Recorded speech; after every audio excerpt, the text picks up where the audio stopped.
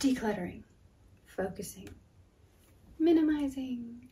Three of the things I have been attempting to put into practice for the last few years. Well, this year I increased my efforts and in a particularly intense purge, that's difficult to say, I discovered something. Two things. One, I have a lot of stuff. Various paraphernalia I've accumulated over the years. Some sentimental things. Gifts I've received from people. Cards. Notes. Wrapping paper. Things I should have thrown away a long time ago, but I didn't. I just feel so guilty. Still, I have found that I am only a level one hoarder, which does not sound like much of an accomplishment once I say it out loud. sounds more like more of an accomplishment to say I'm a higher level, but I suppose in the case of hoarding, you want to be a lower level. What was I saying?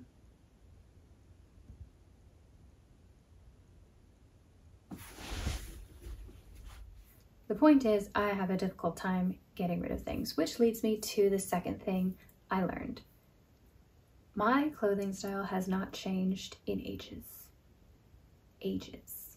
I discovered this by going through my closet, looking through all my clothes, and also going through my idea book, which is basically my tangible Pinterest board. It's just a binder filled with magazine clippings, pictures from websites, and sketches I did planning out things to make.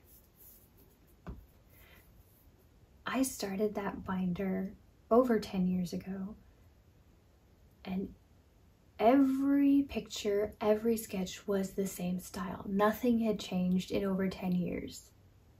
There's nothing necessarily wrong with having the same style for a long time, as long as you like it. I realized I don't even like it but I'm making clothes that are in this style. I've attempted to change it. I've even made a few items of clothing that I really, really like. I really enjoy wearing, but I've only made a few, and so those are the items I wear, and so they are becoming rather threadbare. While the other clothes are just hanging in my closet, never being worn. I made them, but I wasn't wearing them, which was pretty sad. I kept making items I wasn't even wearing because I liked them to look at, but not to wear. I still appreciate that style, but I don't feel comfortable in it anymore.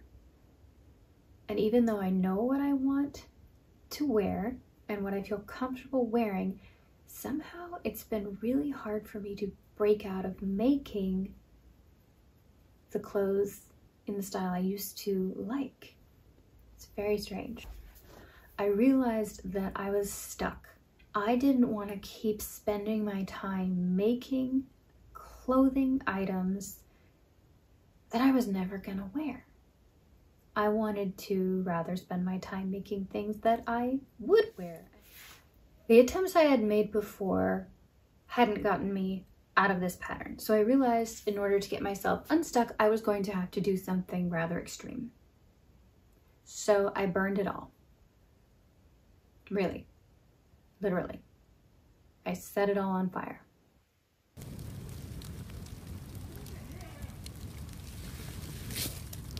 Well, not all of it. Just the magazine clippings, the sketches, uh, all the paper stuff I burned. The clothing, I donated. Don't worry. So here we are at the end of a long, boring story of how I decided that rather extreme measures were necessary in order to unstick myself.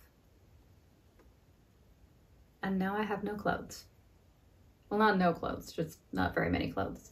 The plan is to build a new wardrobe of clothing that I will actually wear. And I might even film myself making them. We'll see.